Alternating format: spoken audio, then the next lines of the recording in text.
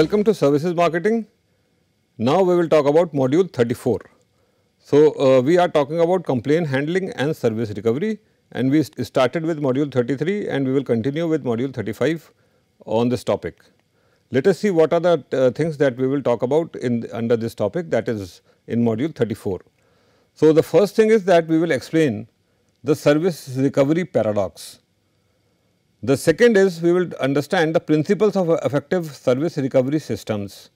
And the third is we familiarize with guidelines for frontline employees on handling complaint customers and on recovery from service failures.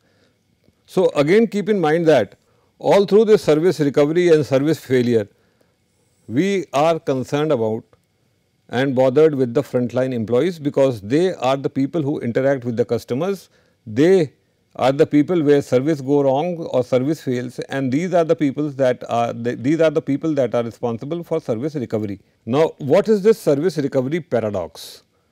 The service recovery paradox describes the phenomena where customers who experience an excellent service recovery after a failure feel even more satisfied than customers who had no problem in the first place. So, now keep in mind that when the service delivery is, accord, is according to the promise, then the customers are satisfied. So, that is uh, one thing. Another in the service recovery paradox what is happening is that once the service fails and then companies take some adequate action for service recovery, then that makes customer even more satisfied.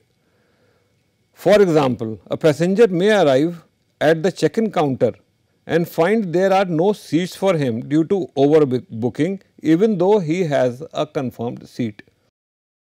What has happened is that the service has failed. So, that is service failure. Although he had a confirmed ticket, but then there were no seats available because the airline they have overbooked the aircraft. Now, what to do in order to recover the service?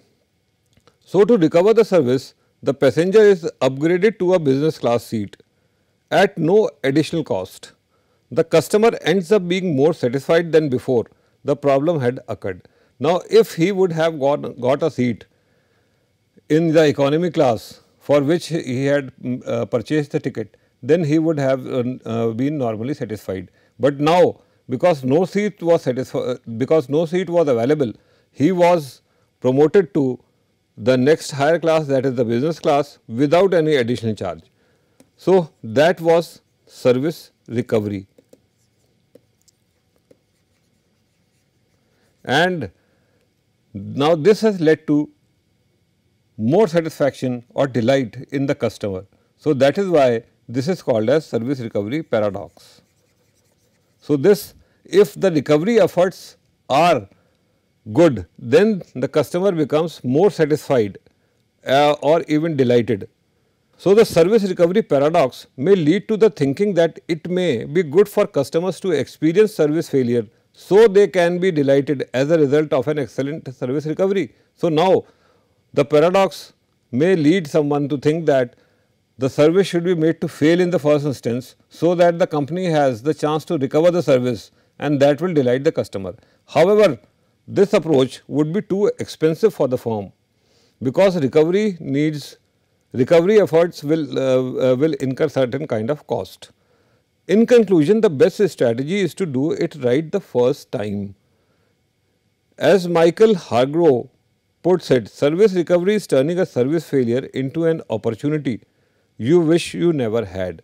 So, this is the opportunity that you wish you never had. So, the best thing is the best thing for a service company is to do it right the first time. Whether a customer comes out delighted from a service recovery may also depend on the severity and recoverability of the failure. For example, no one can replace spoiled wedding photos or ruined holidays or eliminate the consequences of a debilitating injury caused by a service equipment. So, in this case, in these kind of cases, there can be no recovery. In such situations, it is hard to imagine anyone being truly delighted even when the most professional service recovery is conducted. Let us look at the principles of effective service recovery system. The first is recognizing that current customers are a valuable asset base. Managers need to develop effective procedures for service recovery following unsatisfactory experience. Unfortunately, many service recoveries fail and some of the common causes of failure are Managers disregard evidence that show that service recovery provides a significant financial return. Companies do not invest enough in actions that would prevent service issues. So, now although you may be looking at an opportunity where you can recover service and can get a more delighted customer, but unfortunately many many service recovery they fail.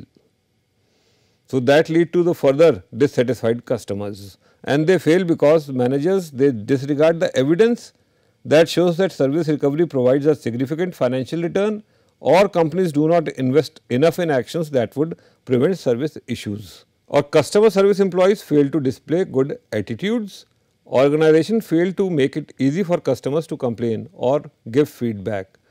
So, all these reasons, all these four, uh, the, these four reasons, because of these four reasons, the service recovery efforts they may fail. Next, we discuss three guiding principles for how to get it right. So, the first thing is make it easy for customers to give feedback. So, how do we get the service recovery right? The first thing that a company needs to do is to make it easy for customers to give the feedback. Second, enable effective service recovery. So, the front line or other employee should be empowered, enabled to go in for effective service recovery. And the third is to establish appropriate compensation levels. The compensation levels that reflect the agony that the customer has, go, has gone through one and second also the time and efforts and energy that he spent when the service is being recovered. So, these are the three important things that uh, these are the three guiding principles to uh, to get it right. Now, these are these are the principles of effective service recovery system. First is do the job right the first time.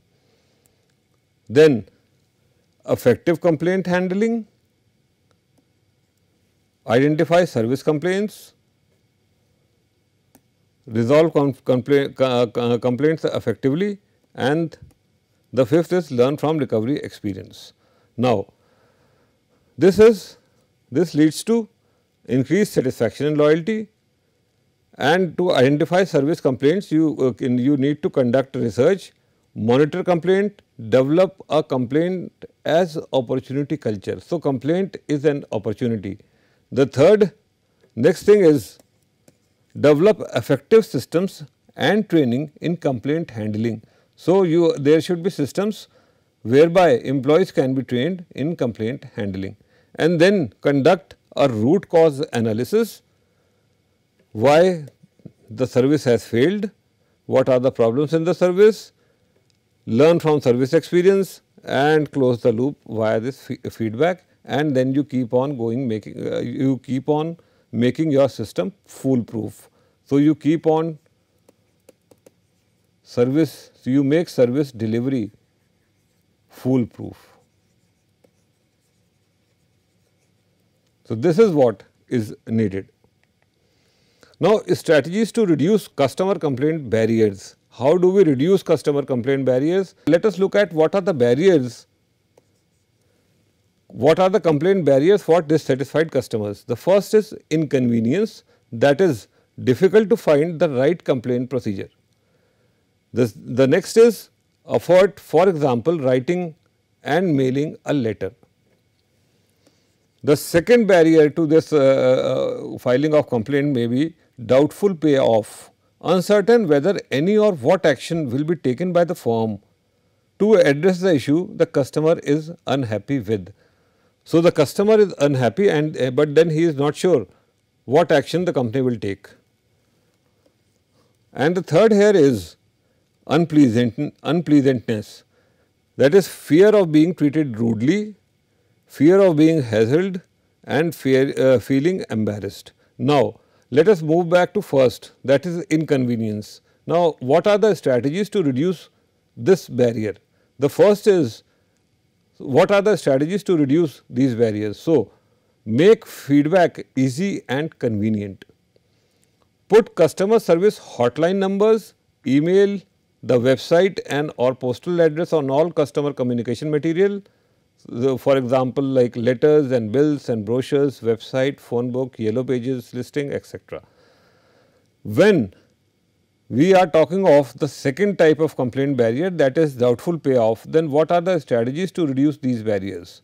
Reassure, reassure customers that their feedback will be taken seriously and will pay off. So, it is not only for the for the purpose of uh, getting uh, complaints, but then they should be assured that some kind of action will be taken. Have service recovery procedures in place and communicate this to customers, for example, in customers newsletters and websites. Feature service improvement that resulted from customer feedback. When unpleasantness is the complaint barrier, then what are the strategies to reduce this barrier? Make providing feedback a positive experience. Earlier we have seen that this was a negative experience. Now, the strategy to, re to reduce these barriers, strategy to increase customer complaint is to make this feedback a positive experience. Thank customer for their feedback can be done publicly and in general by addressing the entire customer base. Train service employees not to hassle and to make customers feel comfortable when they are or after they have complained. Allow for anonymous feedback. So, the feedback can, can be without the name. So, these are the strategies to reduce complaint uh, customer complaint barriers. Now, when it is when the when the strategy is to make it easy for customers to give feedback, how can managers overcome unhappy customers' reluctance to complain about service failures? And the best way is to directly address the reason for their reluctance. Many companies have improved their complaint collection procedure by adding special toll free lines. So, the whole ball game is to is to make this giving feedback or uh, giving complaint, lodging complaint easy. Now, how do we enable effective service recovery? Recovering from service failures take more than just pious expressions of determination to resolve any problem that may occur. It requires commitment, planning and some clear guidelines. Specifically, effective service recovery should be proactive, planned, trained and empowered it is not only about having your expressions of determination that you will do something about that, but there, there, uh, there are things that need to be done for effective service recovery and these are those four things. What does this means? Service recovery should be proactive. Service recovery is ideally initiated on the spot, preferably before customers have a chance to complain. Service personnel should be sensitive to signs of dissatisfaction and ask whether customers might be experiencing a problem. For example, the waiter may ask a guest who has only eaten half of his dinner, is everything all right sir? The guest may say, yes, thank you, I am not very hungry or the steak is well done, but I had asked for medium rare. The second response then gives the waiter a chance to recover the service. So, this, these, these, these are some of the examples that can lead to service recovery. So, although he was not complaining formally, but then this is what he said and that and if the, that, that waiter is trained and empowered, then he can take this as an opportunity, opportunity to recover the service. Recovery procedures need to be planned. Contingency planning have to be developed for service failures especially for those that occur regularly and cannot be designed out of the system. For example, revenue management practices in the travel and hospitality industries often result in overbooking and travelers are denied boarding or hotel guests are walked even though they had confirmed seats or reservations. To simplify the task of this frontline uh, staff, firms should identify the most common service problems such as overbooking and then develop solution set for employees to follow. So, this is a normal practice in these kind of industries to over overbook. So, now obviously, if the if a air, aircraft or a hotel is overbooked, then there will be some customers who have to be who have to wait or who will be denied uh, the service. So, now that uh, uh, leads to uh, service failure and there is now a chance to recover this service.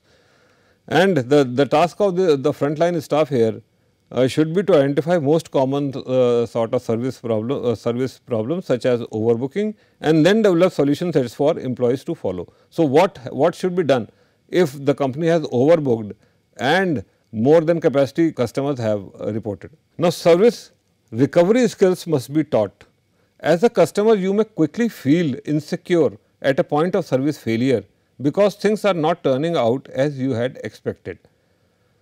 Effective training builds confidence and competence among frontline staff, enabling them to turn distress into delight. So, now this recovery skills employees, the frontline employees were trained in this recovery skills and that make uh, that distress into delight. With effective training of how to handle service solution sets for routine service failures and for non-routine service failures, frontline staff can turn distress into delight with confidence and the skill that they have learnt. Service recovery requires empowered employees.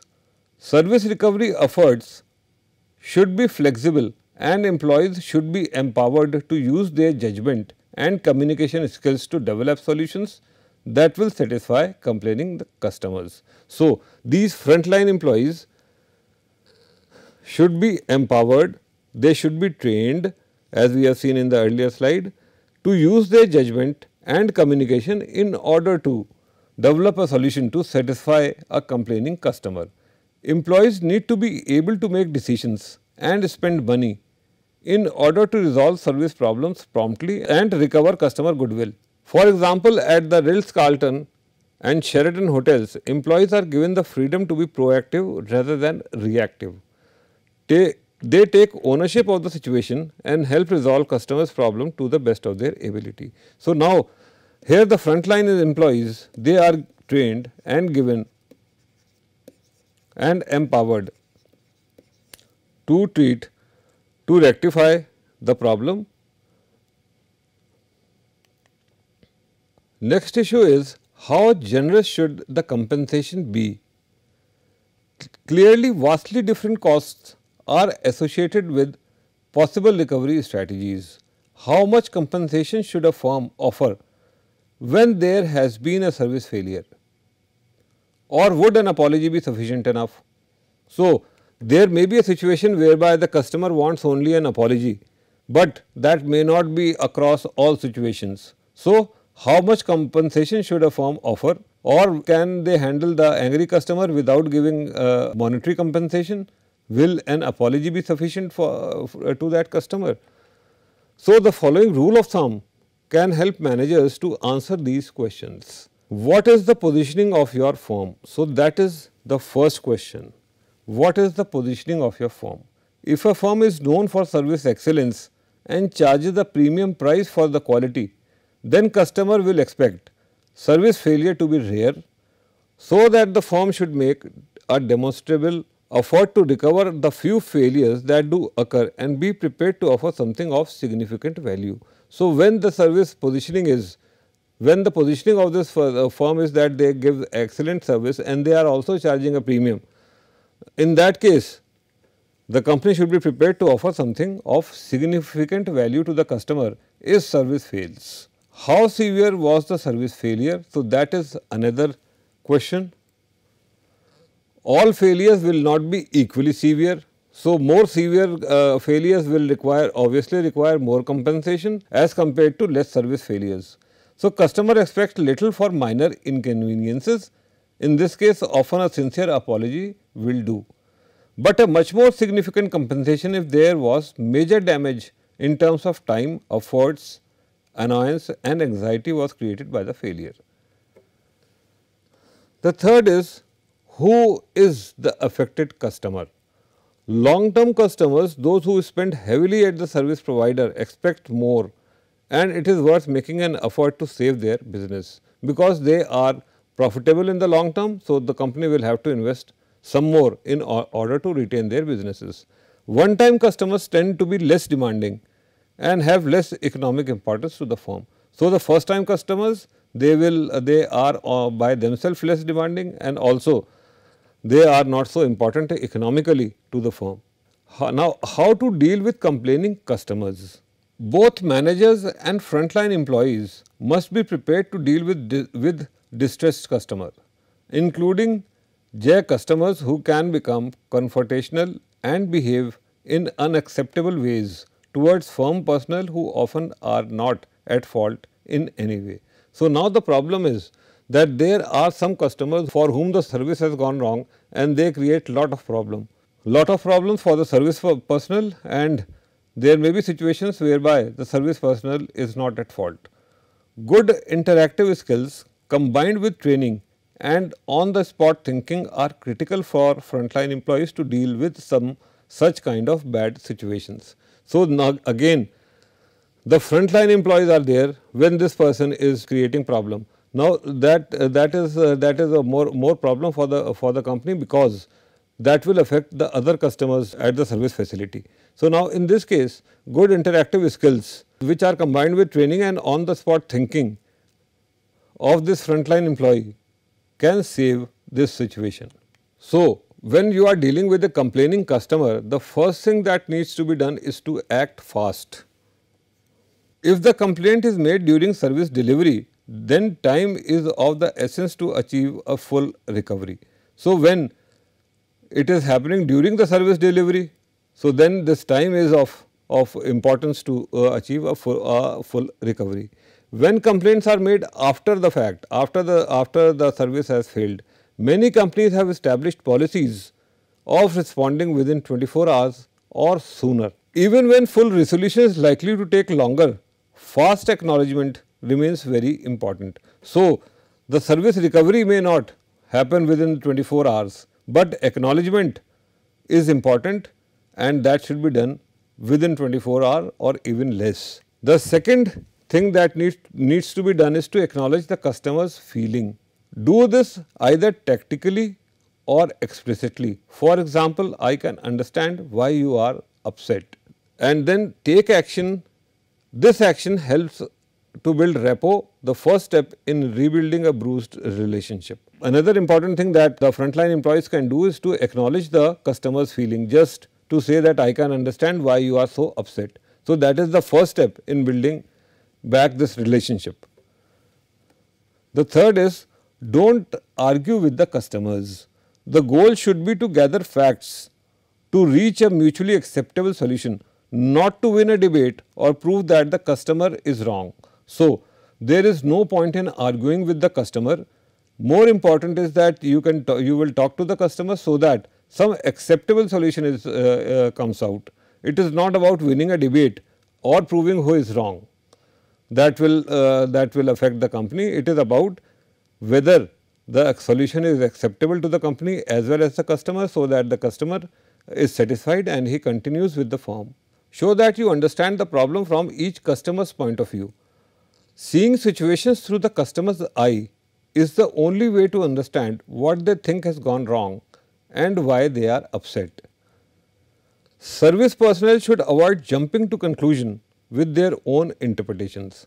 So, the service personnel, the frontline employees should not uh, be jumping to conclusion and have their own interpretation about what what would have happened. So, they the frontline employees and the service personnel should see from the customer's eyes about what has happened. Next, uh, next thing that needs to be done is to clarify the facts and sort out the cause. A failure may result from inefficiency of service, misunderstanding by customer or misbehavior of a third party. So, it is important to clarify and sort out what, what is the cause of service failure. That may be because of inefficient uh, delivery of service or some uh, misunderstanding with the customer or there has been a misbehavior by someone the third party someone outside the organization. If you have done something something wrong apologize immediately in order to win the understanding and trust of the customer. So, this is what is important that if you think that you have, you have done some, something wrong, there is a need to apologize immediately in order to win the understanding and the trust of the customer. The second is the more the next is the more the customer can forgive you, the less he or she will expect to be compensated. So, that is another important thing. If the customer is more than willing to forgive you, then he will not expect anything as compensation. Do not be defensive. Reacting defensively may suggest that the organization has something to hide or is reluctant to fully look into the situation. So, there is no need to be defensive, things go wrong. So, reacting, reacting or defensively will suggest that the organization has not done the homework fully and that will put the organization in, in bad light. So, there is no, no need to be defensive. Give customers the benefit of doubt. Customers should be treated as though they have a valid complaint until clear evidence proves that it is not true. So, first the company should assume that what customer is saying is correct unless it is proven otherwise. If a lot of money is at stake as in insurance claims or potential lawsuits, careful investigation needs to be carried out. If the amount involved is small, it may not be worth haggling over a refund or offer compensation. So, if the severity is high, then there is a need to carry out uh, investigation and if the amount involved is low, is small, so then there is no point in wasting time on that. However, it is still a good idea to check the records to see if there is a past history of dubious complaints by the same customers. So, that will tell whether this customer is a habitual offender or complainer. That is he, he keeps on complaining just in order to get a compensation. So, that the records will show. Propose the steps needed to solve the problem. When instant solutions are not immediately available, tell customers how the firm intend to take action to deal with this problem. So, the uh, instant solutions are not uh, possible. So, the company will have to tell the customer how they intend to take action so, that, so as to deal with this problem.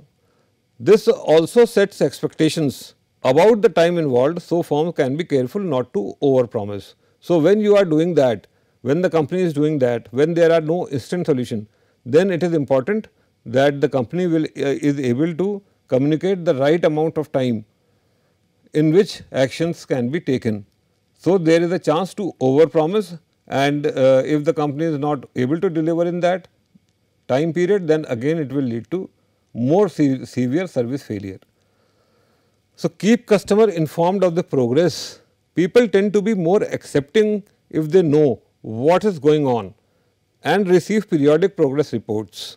Therefore, people should be kept informed about what is going on regularly. So, then there is a need to keep the customer informed about what is happening regarding their complaint. So, where it is and at what stage of the process it is. Another thing that needs to needs to be done is to consider compensation.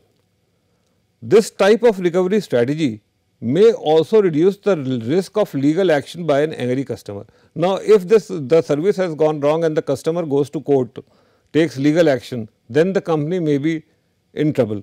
So, therefore, this compensation can be a type of recovery strategy that can be used so that the customers do not take any legal action.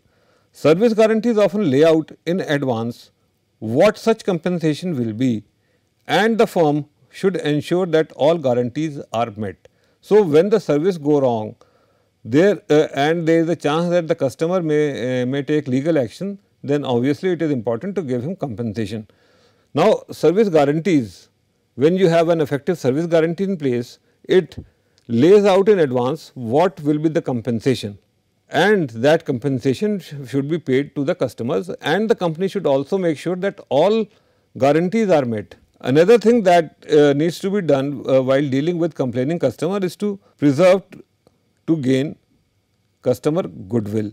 Perseverance may be required to diffuse customers anger and to convince them that actions are being taken to avoid a recurrence of the problem.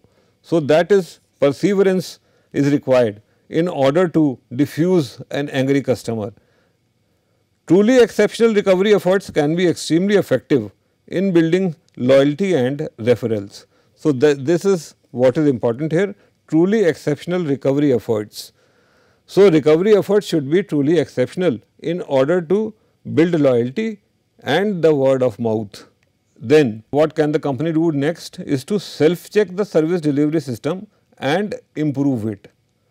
After the customer has left, you should check to see whether the service failure was caused by accidental mistake or systemic defects. So, whether it is accident or systemic. So, that has to be checked. Take advantage of every complaint to perfect the whole service system. So, if it is by if, if, if the system is defective, then the system has to be rectified and if it is accidental, then it has to be found, found out why this accident has happened, why it has occurred in the first place. So, whenever there is a complaint, take advantage of that to perfect the whole service system. Even if the complaint is found to be result of a misunderstanding by customers, so why this misunderstanding has happened? Because there are chances that this misunderstanding will happen again. That implies that some part of your communication system is ineffective and because it is ineffective, it has to be changed. So, to conclude, in this module, we have understood the service recovery paradox like what happens when service fails and what should company do. We have then learned principles of effective service recovery systems discussed the guidelines for frontline employees on handling complaining customers and on recovering from service failures. These are the three books from which the material for this module was taken. Thank you.